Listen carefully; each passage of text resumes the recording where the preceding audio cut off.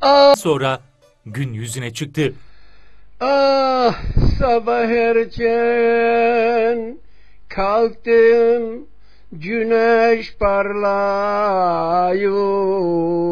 parlıyor oturmuş Bildiğim e, bu türkü Kurtuluş Savaşı ile ilgili yazılmış tek Rumeli türküsüdür.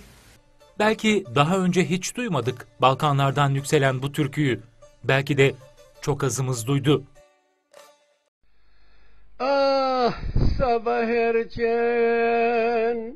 kalktım güneş parlıyor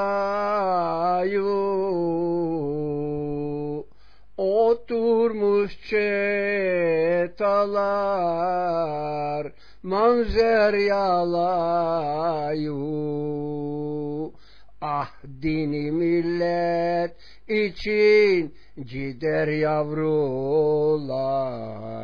Dini millet için gider yavrular. Ah İzmir Hovası'nda kapladı duman Dumanın içinde bir yeşil çadır. Ah çadırın içinde on iki kaymakam Kaymakam içinde bir Kemal Paşa Yaşa Paşa yaşa diyen İsmail Fedakar'ın seslendirdiği türkü Doktor Sami Balkan'ın kitabında yer alıyor.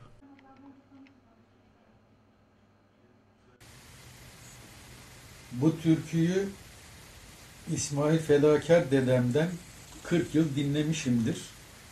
Bütün dost meclislerinde okurdu. Kendisi Makedonya'dayken Köprülü kentinde bir müzisyen topluluğunu dinlemiş.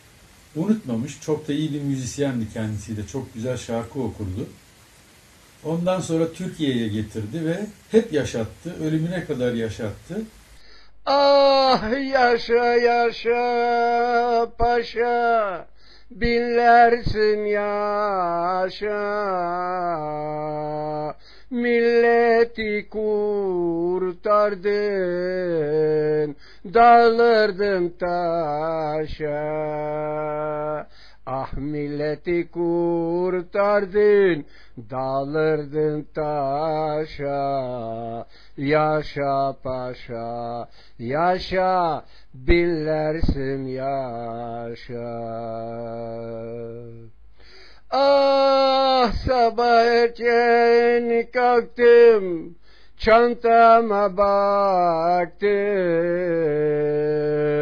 Çantanın içinde yaralı çoktur. Ah gelme doktor gelme çaresi yoktur. Gelme doktor gelme çaresi yoktur. Sami Balkan'ın kitabında daha önce yayımlanmamış iki masal da var.